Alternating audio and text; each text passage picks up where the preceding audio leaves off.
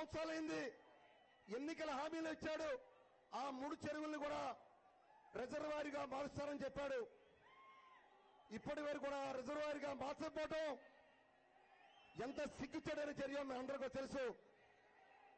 ఇవాళ దేవినేని ఉమామహేశ్వరరావు జీ కొండూరులో ఒక టమాటా మార్కెట్ యార్డుని ప్రవేశిస్తున్నాడు.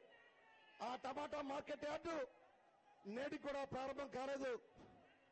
అలానే ఇక్కడ మల్లెపూలు అధికంగా పడ్డే మల్లెపూలకి ఒక మార్కెట్ యార్డ్ని ఏర్పాటు చేస్తున్నాడు.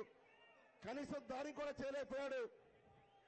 ఇవాళ దేవినేని ఉమామేశ్వరరావు కేవలం అతను అవినీతి అశ్రిత పక్షపాతం జలవరం శాఖలో ముఖ్యంగా అనంతపురం నుండి శ్రీకాకుళం వరకు కూడా జలవరం శాఖలో ఆయన తాబేదారుల్ని ఆయన ఏజెంట్లు కూడా పెట్టుకొని ప్రసాద్ అనే ఇంజనీర్ కూడా అనేక రకాల అభివృద్ధి చేసే సంగతి మనందరికీ తెలుసు.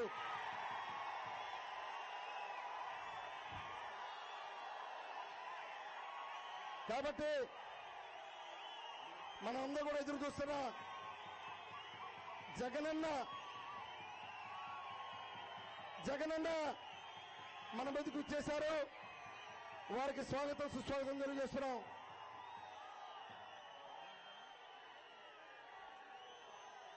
మరి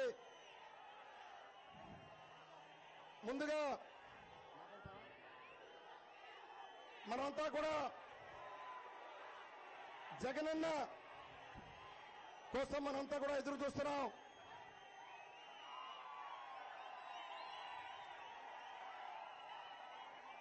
మైలవరం నియోజకవర్గ అసెంబ్లీ సమన్వయకర్త